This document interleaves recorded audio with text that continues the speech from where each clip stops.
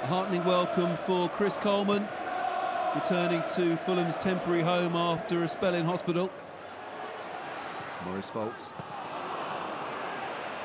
Cleared as far as Sean Davis. Steed Malbranque back into the path of Sean Davis. Surely it is! Fulham ahead at last.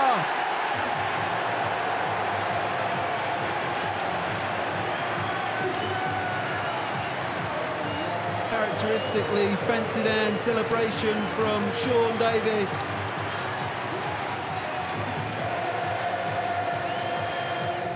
Congratulated by his teammates after a fine goal. Lovely combination between Malbranque and Davis. Lovely first take and an excellent finish past Robinson. And finally, Fulham forge in front.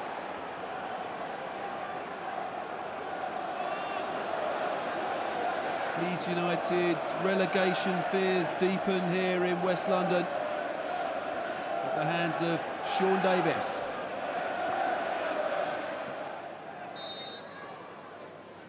Left by Pembridge, Davis straight into the yellow brick wall. Pinged in by Pembridge. Knight. Boa Morte! Rare-headed goal from Fulham fans' favourite, Luis Boa Morte.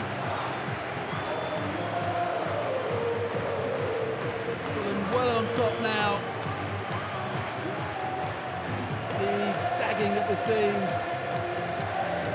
Fantastic ball to Zat Knight from Mark Pembridge. And there was Luis Boa Morte at the back post.